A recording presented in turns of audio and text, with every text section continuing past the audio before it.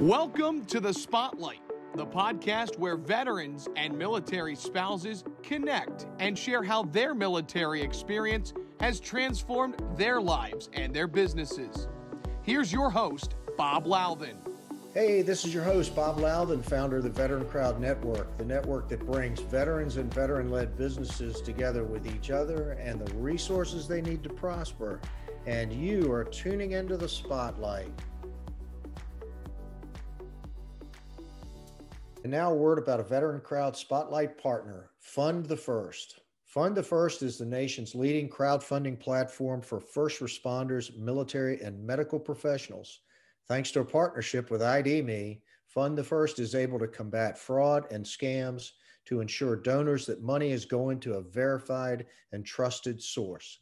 Visit fundthefirst.com for more details. Fund the First crowdfunding for our nation's heroes. Hey, welcome everybody. This is Bob Louthan, host of the Spotlight, and I am very thrilled today to have as our guests two folks that I hope both will be setting a world's record about 10 days from now. I have with me Kaitlyn Hernandez. She is a captain, a commander of the 717th EOD company at Fort Campbell, Kentucky, and also our friend Sean Matson, former Navy SEAL and fellow VMI graduate. Hey, Kaitlyn and Sean, welcome to the program. Thanks for being with me today. Thanks, Thank Bob. You. Appreciate it. Now, you guys have not met, uh, and so I've kind of uh, arranged this thing. But uh, Sean, why don't you just take a second and talk about what's happening and where on April the 3rd? Yeah, so April 3rd, uh, we are both uh, going to be strapping on an 80 pound EOD bomb suit and uh, running one mile uh, to break the male and female world records. So it's going to be at George Mason University. And we are both raising money for uh, an amazing organization called Get Headstrong. They help veterans with uh, the silent killers, you know, suicidal, uh, PTSD, TBIs, and kind of um, uh, all the things that, you know, well, obviously a lot of EOD guys uh, go through, as well as a lot of veterans, um, you know, from these traumatic injuries um, and, and, things. So we're that's what we've got going on, and we're looking forward to it. Okay, hey, hey, Kaitlyn, what is the women's world record time for running a mile in the bomb suit? Uh, currently, the world record is at 1106, set by my friend Ashley Sorensen. Me and her used to play rugby together. Uh, so she said she was going to be coming out for the race. So I'm looking forward to seeing her too. How did you know her? And this sounds like a, a, a friendly rivalry here.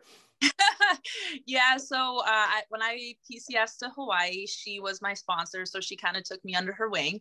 Uh, she was the one that introduced me to rugby.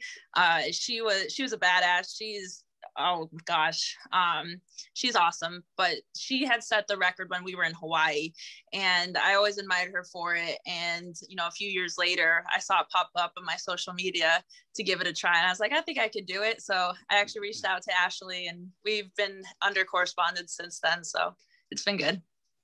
Well, uh, it just it it sounds really exciting to me what you guys are doing. Sean tried to do this two years ago, Sean, right? Yeah, you you yep. you made an attempt two years ago, and I think you went out fast, but the uh, uh, the suit jumped on your back in the last lap or so, right?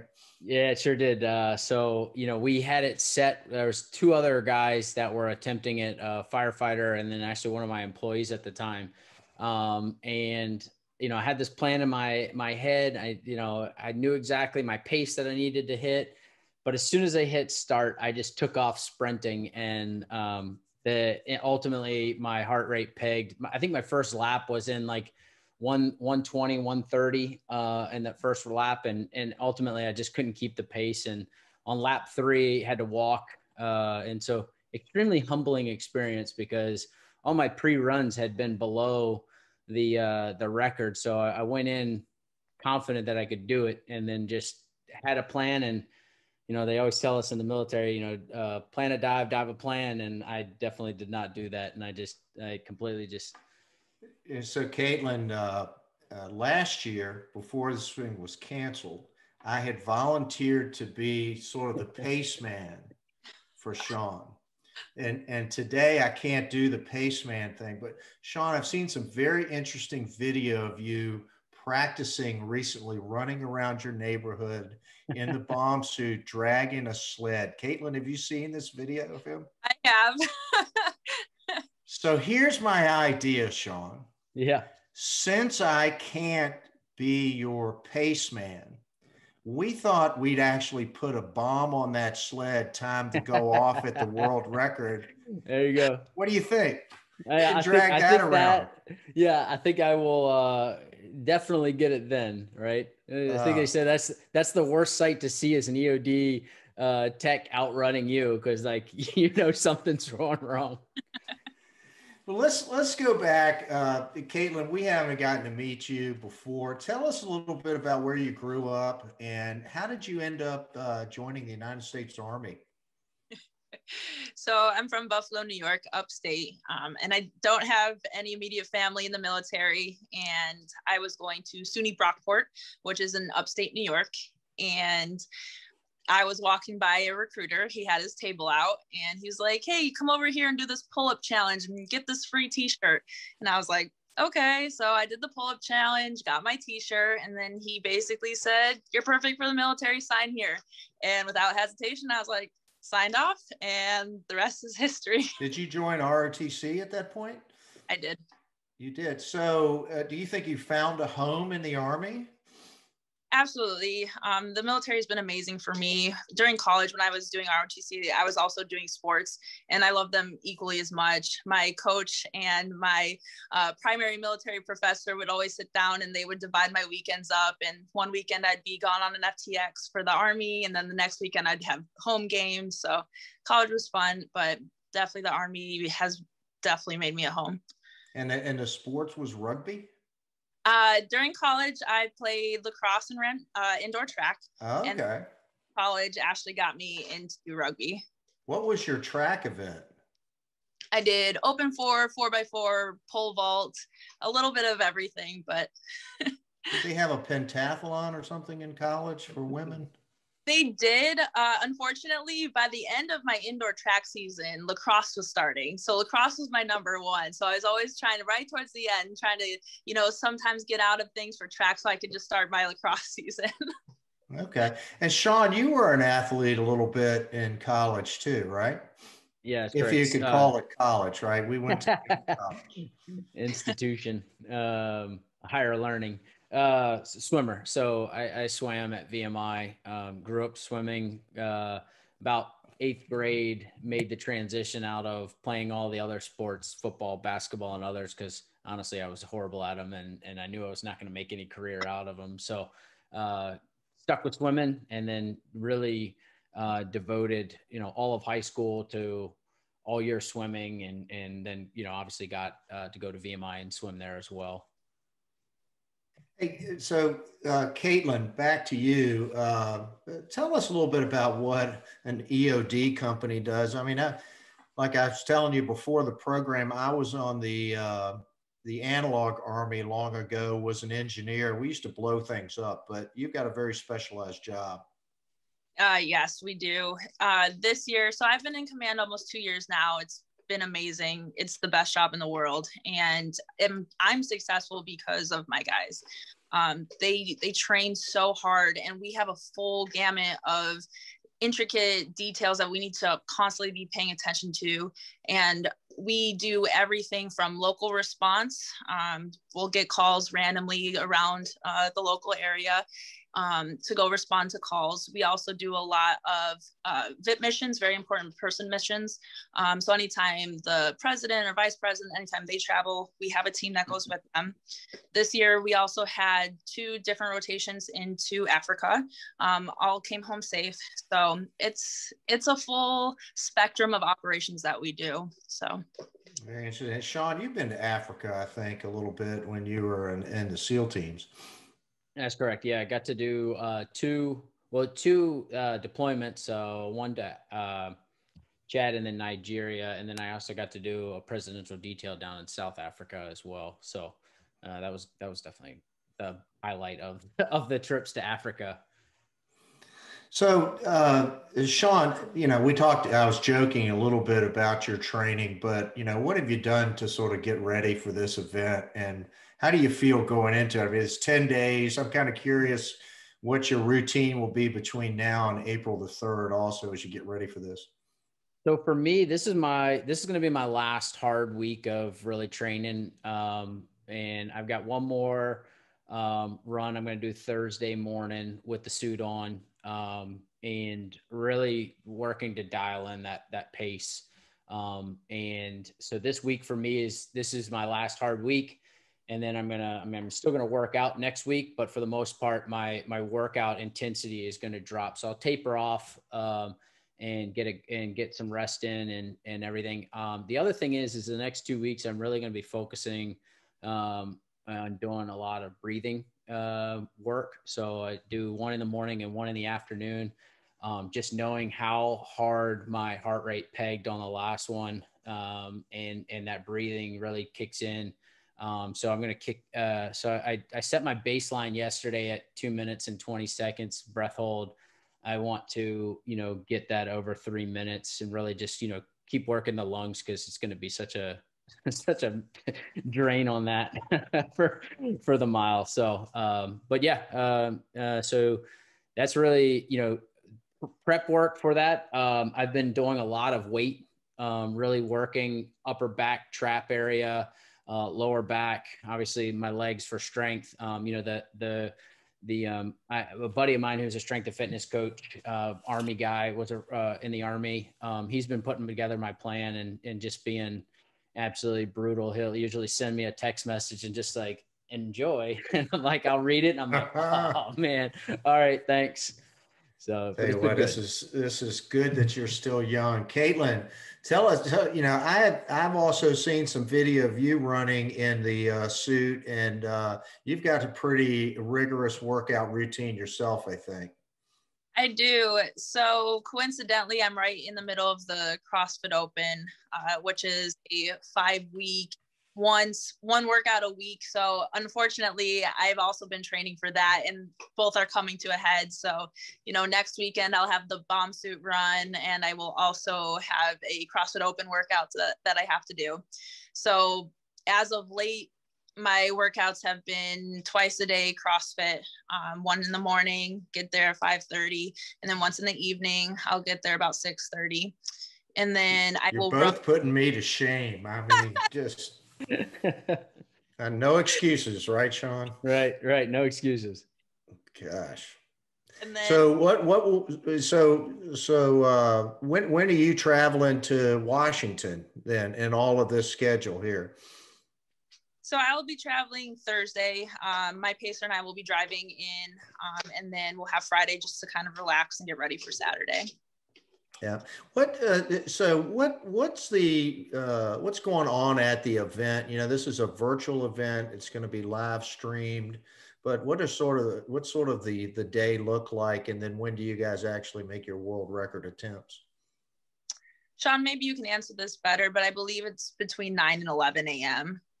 Yeah, that's. Uh, I know they're still kind of working. They're going to kind of look at the weather too and see. Obviously, they don't want the it to get too hot um, with that. Um, so it's, it's it right now. I think, like you said, somewhere around nine to eleven ish. Um, it's going to kind of be fluid. Uh, they're gonna they're gonna have it live streamed on um, the uh, I think Get Headstrong, um, and then any uh, obviously our personal pages uh, will be able to as well um, will not be talking during it or, or entertaining at all. Um, but, you know, so they're, they're going to have that. And basically, um, you know, where two years ago we actually did um, a 5K in the morning and um, where families could come. And then right after the 5K, all the families and, and everybody that participated in the 5K um, actually lined the track um, and and watched everyone attempt to do it. So this is going to be a little bit different, obviously, with uh, the conditions. So it's going to be um, done over live stream. Hey, Kaitlyn, uh, I, I don't want to uh, give up all of your secrets, but would you know, the, the bomb suit for you. This is part of your TO and E, I guess, with the uh, with your company here. Talk a little bit about the suit and and just tell people about it. You probably know more about it than uh, than most. yes, so we will be wearing the EOD 9 bomb suit, which is a total of 84 pounds. The helmet is definitely the worst part. The helmet alone is 12 pounds. So if you think about your standard running form, you have to kind of cater to how heavy this uh, the helmet is and how the chin straps kind of pulls back your chin. Uh, so it definitely affects your breathing. Um, but it's nice because even though we will all be in the same style bomb suit, it, regardless of what size, each bomb suit has its own personality and it will fit different despite it being the same style. So it's nice that I will be able to bring one that, you know, I get to work with all the time. Um, so I know that bomb suit. So I, it's nice that I get to work with it. I know Sean has had some, some issues trying to get his hands on one. Um, but I think he was able to acquire one. So I did. Yeah. Just, uh, just a couple weeks ago. So I've only been able to get, um, a couple runs in it. Um, but yeah, definitely, you know, it is, uh, it, it's nice, you know, that the helmet absolutely is the worst part of that thing. Um, I'm interested uh, to know do do you run with the um, I don't know what even what you call it, but that blast shield up, or do you keep it down? I keep it down as much as I can away from my face, so it won't restrict my breathing. Okay. See, I, I felt, and I feel like, and maybe it's just a, it's just a mental thing. I feel like it does help take some pressure off of my neck when I'm running with it up um, just from uh, the helmet um, keeping it. But I don't know. Here we go. It's down to technique now. And and I, I'm assuming, Kaitlyn, that these things come in different sizes because you shared with us before the program you're all of five feet five inches tall, right? Yes, sir. so uh, you know what what is it about uh, i mean is there something is the bomb suit restrictive also i mean when you're running in it does it's it's got to get in the way. It's definitely restrictive um, and compressive on your lungs and your chest, so breathing becomes a lot more difficult. There's zero airflow, so how Sean had mentioned about heat being a factor. If it is real hot and humid, it will definitely play a role in game day. Mm, okay. Hey, uh, you know, so yeah, this, we could uh, the Bob. One thing is, I mean, we could wear. I don't. I don't know how much the extra batteries weigh, but we could wear all the extra batteries and and turn on the fans. But um, I don't think either of us want any extra weight. But how much do the batteries weigh? Oh, geez, probably between an extra five to eight pounds with all the D cell batteries and the hookups and the lines and the pack. Oh my goodness. Yeah. Okay, so it's like the old. Is they're not like these uh these batteries that we used to put in the old radios and so forth, are they? It, it, but it, the thing is, is it'd be basically like putting a fan, you know, outside in the middle of, uh, you know, July here in Virginia. You turn the fan on and it just blows hot air. It's not going to help you at all. So, I mean, are know, there any vents in the suit at all? No. I guess that would defeat the purpose, right? Okay. Hey, um, so uh, Kaitlyn and Sean, uh, I had hoped that my T-shirt was going to arrive, but I'm still anxiously awaiting delivery. Uh, how can people in advance of the event support what you're doing? So the best I think both of us have on our personal pages have the links um, to the actual shirt page um, just because it, it it's uh, but there are links in our bios for uh, to take you straight to the checkout uh, to get one of the shirts. You can use um, uh, hashtag Sean or hashtag Katie um, in there, Katie and Sean, uh, and um, on the shirt. And then uh, that way it helps support any any proceeds from the, the purchase of the shirt will go to um, Get Headstrong. Interesting. So, Kate, uh, Kaitlyn, uh, Sean promised to sign my shirt if he breaks the world record. Can I get win, the same? Win, win. Well, when Sean breaks the world's record, he's going to autograph my T-shirt. I think I'm going to have it framed. How about you? Would you autograph it also? Maybe we'll auction the thing off for charity. I would be honored and humbled. Okay. Hey, so um, Kaitlyn, how does everybody get in touch with and follow you? And Sean, uh, also, we can talk. This is the time to kind of throw out the social media handles and the uh, and the websites. And obviously, there's a website for the event, and we're going to put all of these things on uh, the show notes page. So you don't need to take notes, but this is the time for the shout out. So my Instagram is katie.m.hernandez. Um, either there or Facebook, I'm Katie Marie, or LinkedIn, Kaitlyn Hernandez. Okay, well, we'll put that. I know people are going to want to follow uh, both of you. How about you, Sean? Uh, Sean.Matson on Instagram, Facebook, um, and same thing for LinkedIn as well. So, okay. All right. Well, listen, this is this has been a great pleasure for me to get the two of you together, to have the opportunity to kind of uh, conduct the first uh, meeting. But I guess we're what ten days away now uh, from you know hopefully breaking two world records here. Uh, I just wish you guys both the very best of luck. I feel confident that you are well prepared for this. I know you're going to do it. Appreciate it, Bob. Thanks. So you've been listening to the Spotlight on the Veteran Crowd Network. We bring veterans and veteran-led businesses together with each other and the resources to help them prosper. Very pleased again today to have Captain Kaitlyn Hernandez and Sean Matson uh, on the program. Thanks so much. I'll put out a big bravo Zulu to you, Kaitlyn, and to you, Sean, and that's a wrap.